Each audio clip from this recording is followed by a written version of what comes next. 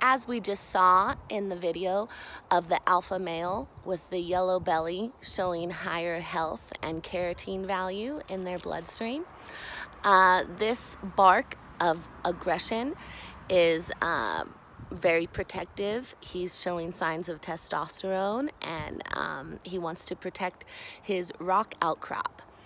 Um, this is uh, mating behavior they are in high mating season right now and so he's just being very protective and um, I'm very lucky that I got to see him bark like this. Thank you so much for watching.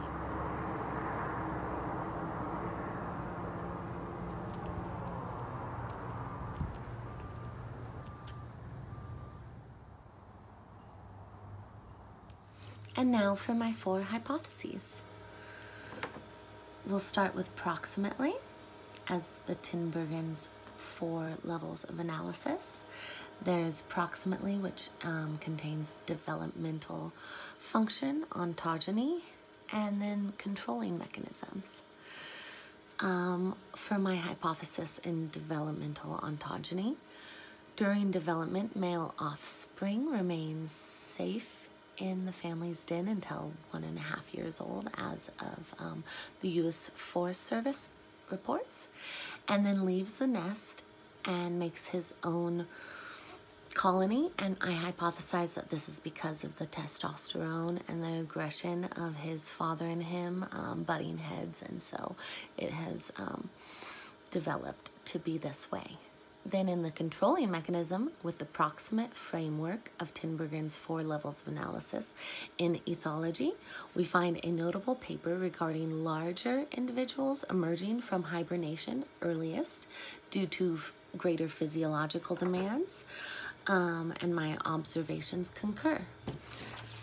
Moving on to the ultimate factors in Tinbergen's uh, four levels of analysis, we have adaptive function as well as evolutionary function.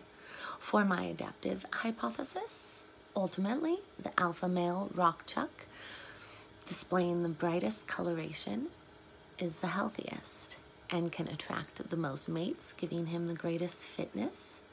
Um, in one of the papers I read, the coloration um, uh, is uh, significant because it shows that he has greater nutrients and um, carotene in his system and will create the healthiest offspring. And of the two specimens in my videos, uh, you will see that um, the one making the call with greater aggression, he has greater coloration and is overall the stronger specimen in my evolutionary function um, of the Tinbergen's four levels of analysis, my hypothesis is as follows.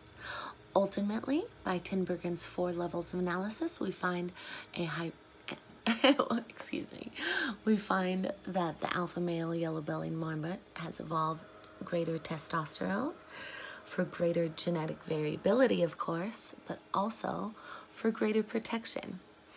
Um, you know, when they were first evolving, probably their greatest risk was a lot of predators around. And so the alpha male has evolved to be very aggressive and he will approach you and he has multiple ways of sensing if it's a safe uh, way. He'll put his nose in the air and smell, and also he'll raise his body and then lower it and raise it again. And these are all sensing mechanisms from his testosterone that have evolved so he can uh, determine what's going on and what he needs to do to protect his females. And um, so, meanwhile, the females have estrogen and so they run away and spend more time in the den. Thus, they have a lesser maternal investment. Thus, fourth, the alpha male, he, without that investment in the offspring, he spends his time uh, foraging and protecting. Thank you so much.